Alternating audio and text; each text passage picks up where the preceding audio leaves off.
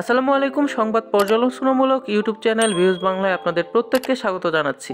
আশা করি আমাদের চ্যানেলটি সাবস্ক্রাইব ও বেল বাটনে ক্লিক করে আপনার সাথে আমাদেরকে যুক্ত রাখবেন। জাহাঙ্গীর প্রার্থী হলে গাজীপুর পরাজয়ের পুনরাবৃত্তি। মনোনয়ন না পেয়ে দুই হাজার তেরো সালে গাজীপুর সিটি কর্পোরেশনের নির্বাচনে মেয়র পদে প্রার্থী হয়েছিলেন জাহাঙ্গীর আলম। দশ বছর আগে তাকে মনোনয়ন না দিয়ে আওয়ামী লীগ সেবারও আজমতুল্লাহ খানকে প্রার্থী করেছিল। দলের চাপে এক পর্যায়ে জাহাঙ্গীর আলম ভোটের মাঠে নীরব ভূমিকা নিয়েছিলেন।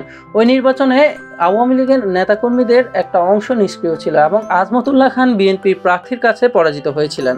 এবার গাজীপুর সিটি কর্পোরেশন নির্বাচনে আজমতুল্লাহ খানকে দলের মনোনয়ন দেওয়া হলে সাময়িক বরখাস্ত হওয়া মেয়র জাহাঙ্গীর প্রার্থী হতে মরিয়া স্বতন্ত্র প্রার্থী হলে তাকে যেন প্রশাসনিকভাবে হয়রানি করা না হয়।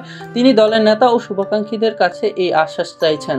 ফলে দুই হাজার তেরো সালে এবারও সে ধরনের পরিস্থিতির দিকে এগোচ্ছে কিনা এ প্রশ্নের আলোচনা চলছে আওয়ামী লীগে। তবে জাহাঙ্গীর আলম যাতে প্রার্থী না হন, সেই চেষ্টাও রয়েছে। মনোনয়ন থেকে বঞ্চিত হওয়ার পর থেকে জাহাঙ্গীর আলম বিভিন্ন নেতামন্ত্রীর সঙ্গে সাক্ষাৎ করে তাদের বোঝানোর চেষ্টা করেন যে, গাজী গাজীপুরে বিনা প্রতিদ্বন্দ্বিতায় আজমতুল্লাহ খানকে জয়ী করে আনলে তার কোনো আক্ষেপ থাকবে না। কিন্তু বিএনপি মেয়র পদে প্রার্থী না দিলে ভোটার উপস্থিতি হবে না। এক্ষেত্রে আওয়ামী লীগের বদনাম হবে। তাই তিনি স্বতন্ত্র প্রার্থী হতে চান। আর তিনি প্রার্থী হলে ভোটে প্রতিদ্বন্দ্বিতা হবে এবং ভোটারের উপস্থিতিও বাড়বে। নির্বাচন সুন্দর হবে। নির্বাচনে স্বতন্ত্র প্রার্থী হলে হামলা মামলা বা অন্য কোনো অপ্রীতিকর ঘটনার মুখোমুখি হতে হবে কিনা তা বুঝতে চাইছেন জাহাঙ্গীর। কিংবা দুর্নীতি দমন কমিশন বা রাষ্ট্রের অন্য কোনো সংস্থা থেকে চাপ আসবে কিনা সেটাও জাহাঙ্গীরের ভাবনা।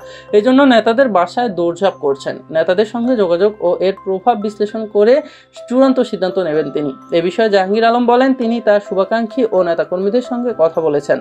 তার করণীয় সম্পর্কে শিগগিরই জানানো হবে। জাহাঙ্গীর আলমের ঘনিষ্ঠ সূত্র জানিয়েছে, তার রাজনীতিতে উত্থান গাজীপুরের মেয়র নির্বাচিত হওয়া এবং বিতর্কিত মন্তব্যের পর দল থেকে সাধারণ বহিষ্কারের পর ক্ষমা পাওয়ার পেছনে দলের নীতি নির্ধারণী পর্যায়ের অনেকেই সহায়তা রয়েছে।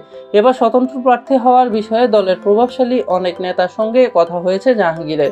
কেউ তাকে বারণ করেননি। আবার দাঁড়ানোর বিষয়ে প্রকাশ্যে উৎসাহ দিতে রাজি নন। দুহাজার পনেরো সালে জাহাঙ্গীর আলম গাজীপুর মহানগর আওয়ামী লীগের সাধারণ সম্পাদক হন। দু হাজার আঠারো সালে সিটি নির্বাচনে দলীয় মনোনয়ন পেয়ে মেয়র নির্বাচিত হন।